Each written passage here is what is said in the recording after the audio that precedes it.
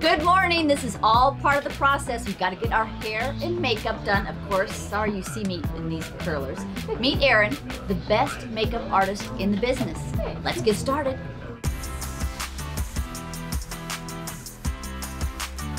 So here we are. It's Friday morning, day five of the US Open.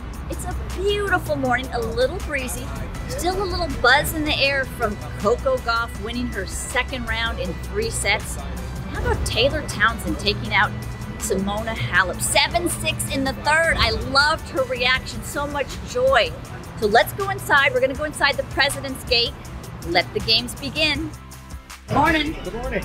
How are you? Doing great. Oh my gosh, it's Mr. Annacone, everybody. A day in the life. We you did all a day in the life loved with him. me already. This is way more important.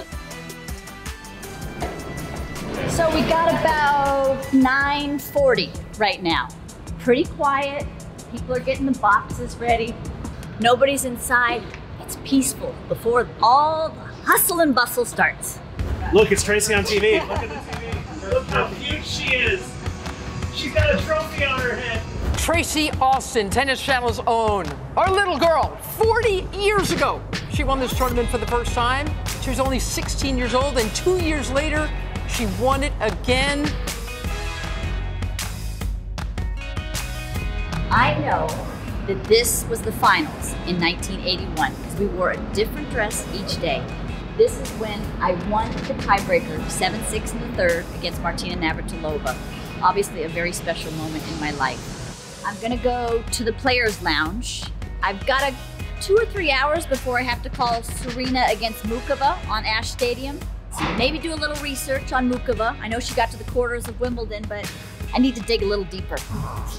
I probably do these stairs uh, 200, 250 times throughout the 16 days that I'm here. Try to keep the quads tight. And this is the entrance to the players lounge. So into the cafe, time to a little lunch, a little fun time, a little relaxation. See you in a bit. So, having breakfast with Linz. James has joined us, but Jim Courier does not seem to want to join his tennis channel colleagues. Whatever, Jim. He comes in, sees us, and walks over there to that corner. And he was talking to his fork a few minutes ago, so we're a little concerned. Roger Federer made quick work of it today. James didn't have to work very long. I long. barely barely worked up a sweat. We are ready to go call Serena and Muchova, third round. Never know what you're going to get with Serena, but if she moves her feet, she should get through it nicely. If she Mukovas her feet. If she Mukovas her feet. Okay, Steve, let's go. There's Johnny Mac. You want to say hi to Tennis Channel right here? Hey, Tennis Channel, I'd just like to say hi.